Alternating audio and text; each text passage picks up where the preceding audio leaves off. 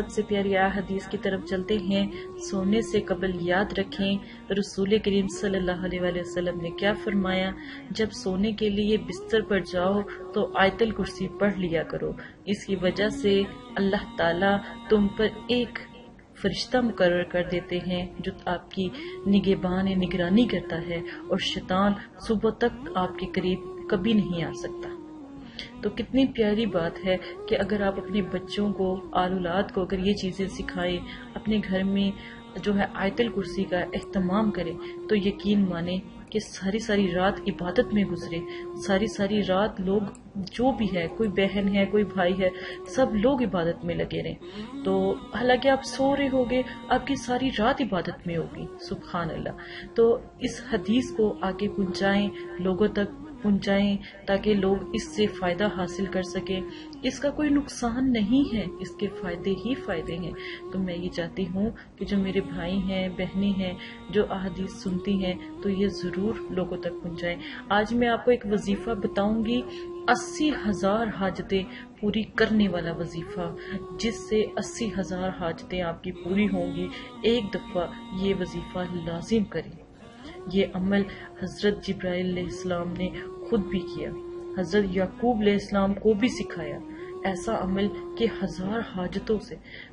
میں کہتی ہوں کہ ایک دفعہ کرنے سے پوری ہر حاجت پوری ہو۔ تو سب سے پہلے اس کا طریقہ یہ ہے کہ صبح فجر کے ٹائم، صبح فجر کے ٹائم اکتالیس مرتبہ سبحان اللہ ایک دن کا وظیفہ میں آج آپ کو بتا رہی ہوں۔ اور جتنی بھی آپ کی پریشانی ہے، دکھ ہے، تکلیف ہے، کسی قسم کی بیماری ہے، کوئی بھی مسئلہ ہے، چھوٹے سے چھوٹا مسئلہ، بس دل میں توکل رکھیں اور وظیفہ کریں۔ طریقہ اس کا یہ ہے، فجر کے ٹائم اکتالیس مرتبہ سبحان اللہ پڑھیں۔ پھر جب زہر آئے، اذان سنتے ہی صرف گیارہ مرتبہ سبحان اللہ کہیں۔ پھر اس کے بعد جب فجر سے زہر سے اثر اثر آئے تو پھر آپ تینتیس مرتبہ اللہ اکبر کہیں۔ ٹھیک ہے، اس کے بعد جب مغرب آئے تو چوتیس مرتبہ۔ ٹھیک ہے، تین اور چار، چوتیس مرتبہ آپ اللہ اکبر کے بعد صرف چونتیس مرتبہ استغفر اللہ کریں۔ اللہ اکبر، پھر آپ پڑھیں گے، پھر اس کے بعد استغفر اللہ کریں گے۔ سب سے پہلے آپ نے اللہ کی رحمت کو پکارا کہ اے اللہ، تو بہت بڑا ہے۔ اس کے بعد آپ نے جب چونتیس مرتبہ استغفار کہا، تو آپ نے کیا کیا کہ یا اللہ، ہمیں معاف کر دے۔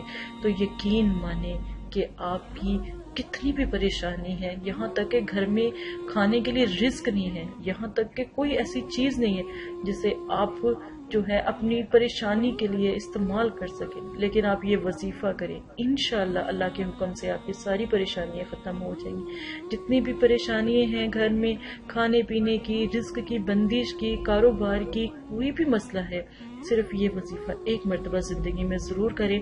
انشاءاللہ آپ کی ساری پریشانیاں، سارے دکھ تکلیفیں آپ کی ختم ہو جائیں گے اگر کوئی شادی کا مسئلہ ہے یا کوئی پریشانی ہے، کسی بہن بھائی کا ایسا مسئلہ جو ہے اسٹاپ ہوا ہے، جس کو کرنے میں بہت دقت ہے۔ کوئی مطلب کہ کوئی آسرا، کوئی وجہ نظر نہیں آ رہی، کوئی ایسی چیز نظر نہیں آ رہی کہ کس سے مدد حاصل کرے۔